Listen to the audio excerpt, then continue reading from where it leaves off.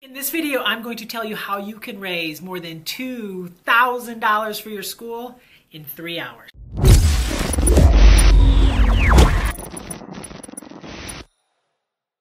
So often in schools these days, we are forced to raise money for things. If we want to, to do a fun project, if we want to take our kids somewhere, if we want to purchase something for our classroom, the money's not there. It's just not. Schools' budgets are so tight and they're trying so hard to keep teachers in the classroom and keep class sizes smaller.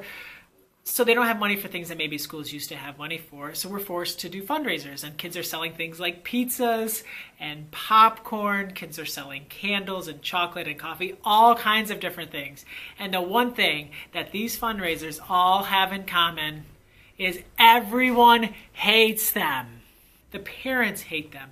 The kids hate them. The people, family members hate them. The community hates them. No one likes these fundraisers. Thankfully, most people understand that we're just schools trying to raise money so our kids can do cool things. But what if there was a way that you could raise money for your school, $2,000 in three hours, and everyone loves the fundraiser? Sure probably thinking, yeah, right. All fundraisers are awful. Nobody wants to do this fundraiser. You're just going to be getting people to give you money because they feel bad for you. But no, this fundraiser is amazing. It is a win, win, win, win, win. So this magical fundraiser where at our school we are able to raise $2,000 in three hours, almost monthly, is a lock-in. So for three hours after school, either from right when school gets out from 3.30 to 6.30, or we have the kids come back from 5.30 to 8.30. During a lock-in, we open up our entire school. We have different things happening in different places. So kids can go to the gym and shoot baskets or climb our rock wall. Kids can go to the cafeteria and in the cafeteria they can sing karaoke.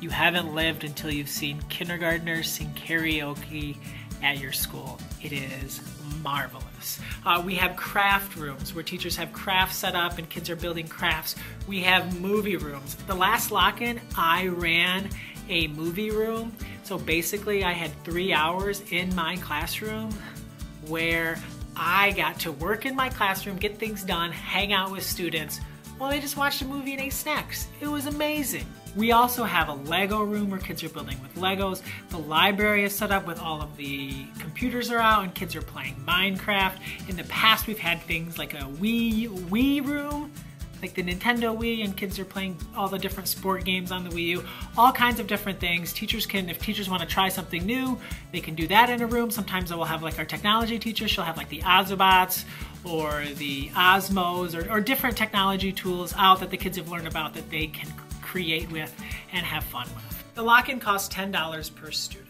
For that $10, the kids can do all of those fun activities for three hours. We'll take care of your kids, we'll watch them.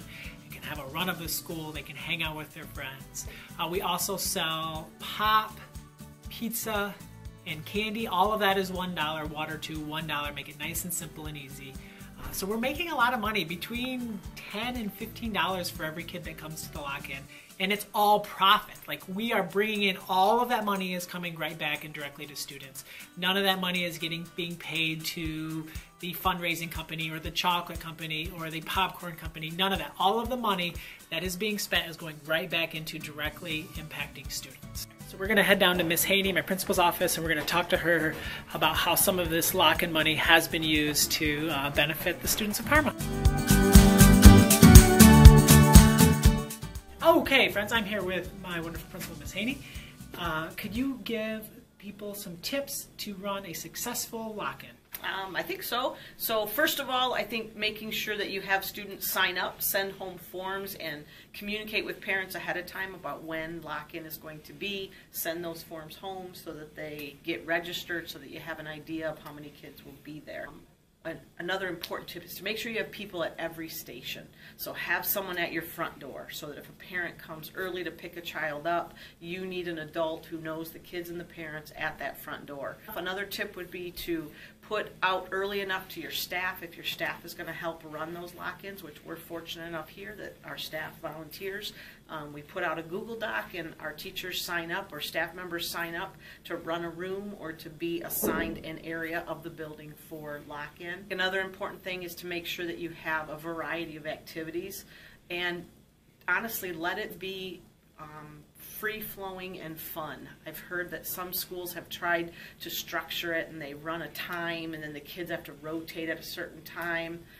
The kids aren't, they don't like that. Our kids are able to come and go from room to room and activity to activity, and I think that's what makes it successful and what allows them to just have fun and, be free. And but yet it's organized, and that again we have people stationed throughout our building so that it stays in control, and the kids are having safe fun um, and our teachers enjoy that time with our kids. So we have these lock-ins, we have these teachers volunteering, we have kids having the time of their life, and we are making approximately $2,000 each time we run a lock-in. What are some ways that we have used the money to support what we're doing? So here's the thing. I think there are, as anyone in education knows, there are so many needs that we just don't have a slush fund at an elementary school.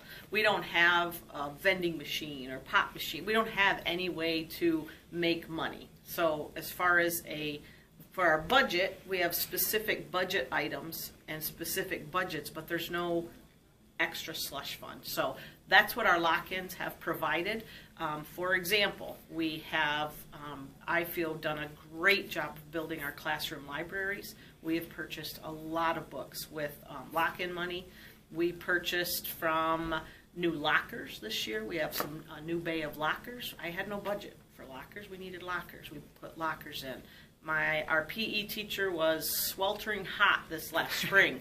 we bought him a new ceiling fan for the gym and had that installed and probably one lock-in paid for that um, but it's just those kind of items that unfortunately we don't have a budget for um, extra professional development i believe very much in professional development and making sure our teachers are are getting what they need as far as their um, willingness and need to grow and continue learning our PD budget doesn't cover everything that we do, unfortunately. So in order to allow teachers to do things that we've done like this year with Math Academy um, or workshops, sometimes that money from our lock-ins helps cover those kinds of things. So basically, when my budget is empty, which it pretty early on. is pretty early, um, lock-in helps supplement those things. Our parents, I it's one of the things I love about lock-in. I think it's a win-win.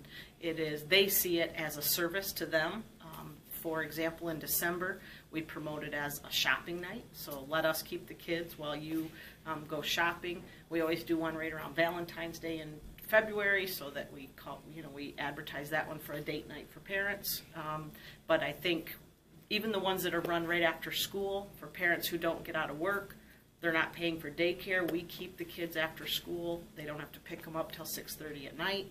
So our parents absolutely love it. We feed them dinner. We have pizza and, and drinks and pop and candy and chips, and the kids can purchase those kinds of things. So we have them here. They know it's safe. They know it's fun. We send them home worn out and exhausted, and we've had them here for three hours. But our kids just come and go. They may sit in a movie room, as you know, because I think you Mr. Sharp volunteered to run the movie room in December. amazing.